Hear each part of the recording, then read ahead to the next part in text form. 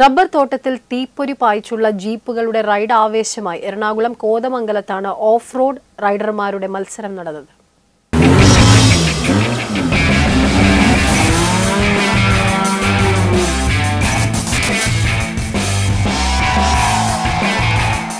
ട്രാക്കിലിറങ്ങിയ ഓരോരുത്തരും നടത്തിയത് കണ്ണഞ്ചിപ്പിക്കുന്ന പ്രകടനം. Diesel petrol open ladies expert കാറ്റഗറികളിലാണ് മത്സരം നടന്നത്.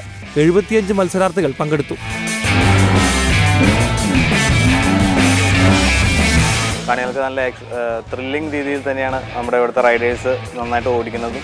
ഓരോ ട്രാക്കിലും വ്യത്യസ്തമായ രീതിയിൽ അത് ഡേഞ്ചർ ആയിട്ടുള്ള രീതിയിലും അല്ലാത്ത രീതിയിലും എല്ലാ രീതിയിലും നല്ല നമുക്ക് നല്ല ഉഷാറായിട്ട് കാണാവുന്ന രീതിയിലാണ് ഇവിടെ നടത്തിയിരിക്കുന്നത്.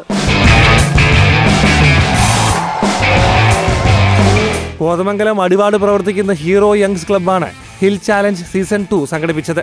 ജീവകാരുണ്യ പ്രവർത്തനങ്ങൾക്ക് പണം കണ്ടെത്താനായിരുന്നു മത്സരം. ഏഷ്യാനെറ്റ് ന്യൂസ് കൊച്ചി.